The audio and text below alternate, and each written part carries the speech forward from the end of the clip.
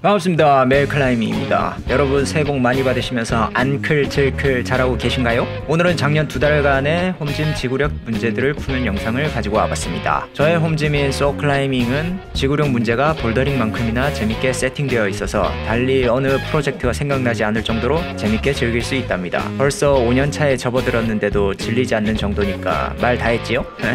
가끔은 클라이밍을 좋아하는 게 아니라 그냥 여기 지구력 문제를 푸는 맛에 이 운동을 한다는 생각도 드는데요. 처음 엔 볼더링처럼 무브도 나오지 않는 상태로 문제를 만나서 어떤 방법이든 길을 찾아 나가서는 결국 마지막 top까지 move 풀이를 끝낸 다음 다시 처음부터 진행하며 마주하는 crux 구간들에 떨어지면서 조금씩 쉬는 구간을 찾고 힘을 쓰는 구간에 아껴놓은 힘을 사용하면서 완등을 해내는 그 맛이 야외 프로젝트를 완등하며 나오는 도파민만큼이나 짜릿짜릿한 성취감을 느낄 수 있게 해준답니다.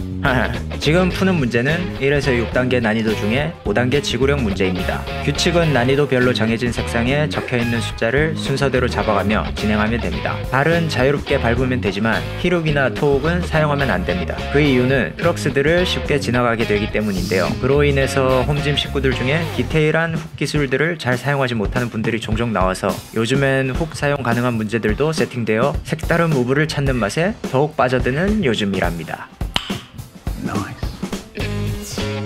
이번 세팅의 매력은 세팅 직전에 센터장님께서 북한산 인수봉에 다녀오셨다가 발로만 가는 부부에 꽂히셔서 왼쪽 슬랩벽에서 손 없이 밸런스를 잡아야 하는 정말 간절하게 집중 또 집중을 해야지만 넘어가지는 재밌는 무브들이 만들어져 있답니다. 재밌겠죠? 재밌겠죠? 지금부터 시작이야.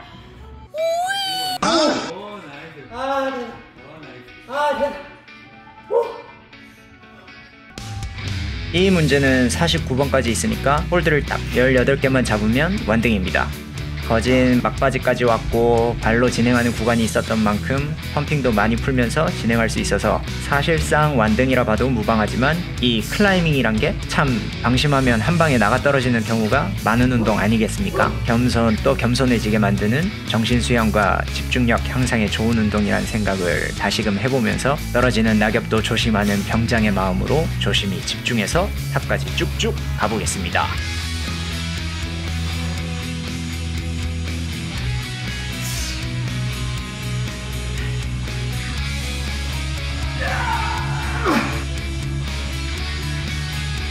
이제 top이 코앞까지 왔습니다. 이때가 정말 정신력으로 가야 될 구간이지요. 지금 느껴지는 피로도는 처음부터 진행해온 사람만이 느낄 수 있는 값진 순간이라 할 수 있겠습니다. 남은 홀드와 남은 부부들은 부분으로 잡아본다면 전혀 어렵지 않은 쉽고 좋은 홀드입니다만 47개의 홀드를 잡은 뒤에 마주하게 된다면 전혀 다른 홀드가 되어 저의 눈앞을 캄캄하게 만들 겁니다. 그럼에도 이를 악물며 계획했던 move들을 실행에 옮겨가며 완등을 잡아낸다면 그날은 그 무엇으로도 바꿀 수 없는 만족감이란 기쁨을 누릴 수 있을 겁니다. 족발무 가자. 아. 너무 맛있겠다. 잘 먹겠습니다. 많이 드십시오. 나는 나는 오늘 뭐 같이 있다. 그럼 난 같이 없네. 왜? 아, 아 이거는 그러니까 다이어트 하니까. 아 근데 또 다이어트. 따라 나올래? 뭐 좋은 게 좋은 거 알겠습니다. 아 죽인다. 주말이 지나서는 조금 색다른 촬영을 해본다고 집 앞 대천천에서 해가 떨어지기 전에 부랴부랴 여러 가지 촬영을 해보는 시간도 가졌습니다. 분명 부산 도심 속인데 5분만 가면 꽝도 볼 수 있는 정말 신기한 곳에 살고 있다는 생각이 드는 날이었습니다. 이 벽은 벽각도 130도의 오버행 지구력 문제가 세팅되어 있습니다. 왼쪽 벽은 그보다 5도 높은 135도로 하드한 오버행 트레이닝이 가능한 벽이지요. 지금 푸는 문제는 1에서 4단계 중에 3단계 문제로 총 37개의 홀드가 세팅되어 있습니다. 오버행은 손을 털기가 훨씬 부담스러운데요. 한 가지 팁이 있다면 그나마 아래로 내려왔을 때 드롭니로 골반을 최대한 넣어서 아래 체중을 많이 실어주면 펌핑을 조금이라도 풀어주며 진행할 수 있습니다. 그래도 무브가 어려운 건 마찬가지지만요. 좋은 홀드가 나오면 최대한 하체를 넣어주며 손을 털어주는 게 좋지요.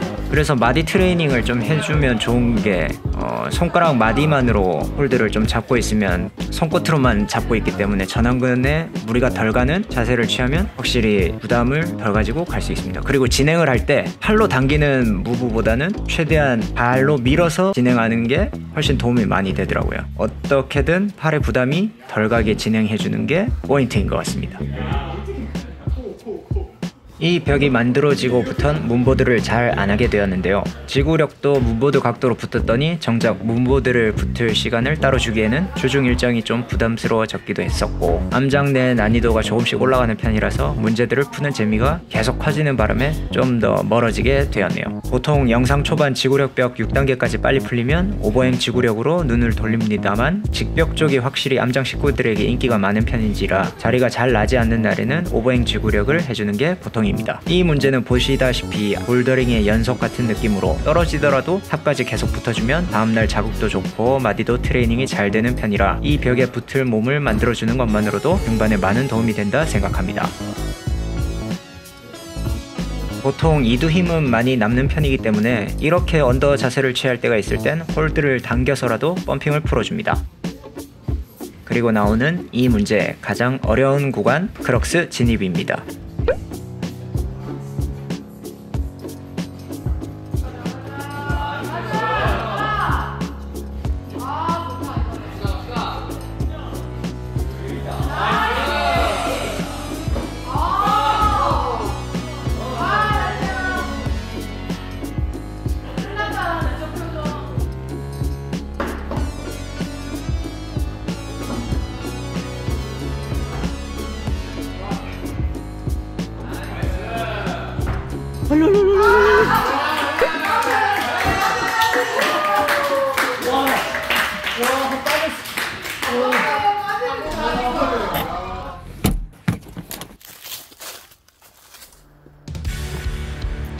그리고 며칠 뒤에 다시 또 야외를 뻔질나게 다니면서 이곳저곳 이것저것 가까운 여러 바위들을 등반하고 촬영하며 보내기도 했고 간만에 문보드도 다시 시작해주는 등 아쉽다 생각되는 부분들을 만족스럽진 않지만 쉬지 않고 움직이긴 한 지난 연말이었습니다. 앞으로는 짧게라도 진행 중인 부분들을 성실하게 영상으로도 담고 도움이 되는 팁들이 있다면 같이 공유하며 저도 여러분들에게 또 배우고 실행해보면서 함께 성장할 수 있는 채널이 되도록 노력하는 한 해를 보내겠다는 말씀을 조심스레 드려보겠습니다. 더빙을 하면서 영상을 만들려니 분명 해봤던 일인데도 자주 하지 않으면 내 것이 아닌 것처럼 점점 능숙해지며 더욱 알찬 영상이 되도록 진행해 보겠습니다. 생각보다 너무 많이 떠들었더니 이젠 할 말이 생각나지 않아서 이만 줄이고 끝으로 마지막 남은 지구력벽의 1에서 4단계 중 3단계 영상으로 마무리하겠습니다.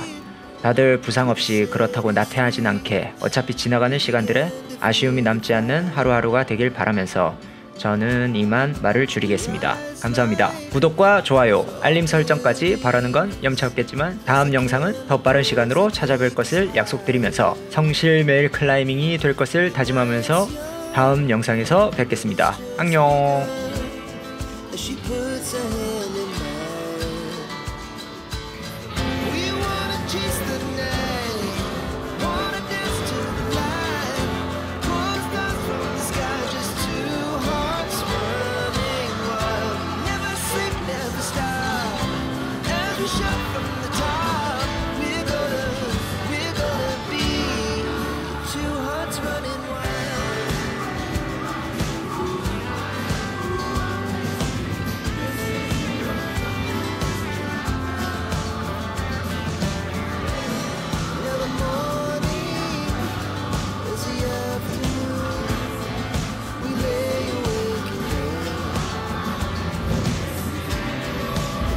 so